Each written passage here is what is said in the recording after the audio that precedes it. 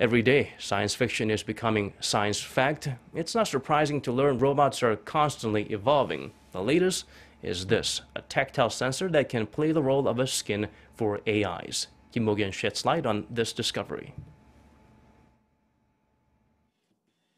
Researchers from the Korea Advanced Institute of Science and Technology have developed a tactile sensor that can measure not only the amount of pressure applied on contact, but also pinpoint the location it's been touched. When the sensor is pressed, different colors appear on the screen depending on the level of pressure. The sensor also locates the exact spot where pressure is exerted through the computer screen.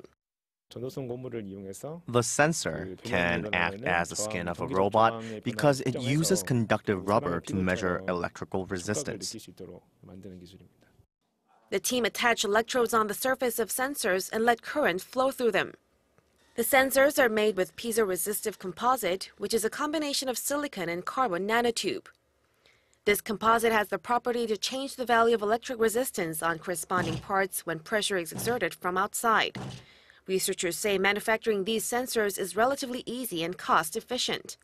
The sensors can be used widely in the robot industry, and they are particularly promising for rehabilitation purposes. The research team expects the technology to be applied in a variety of fields such as robot skin, 3D computer interface, and wearable medical devices. Kim Mok-yeon, Arirang News.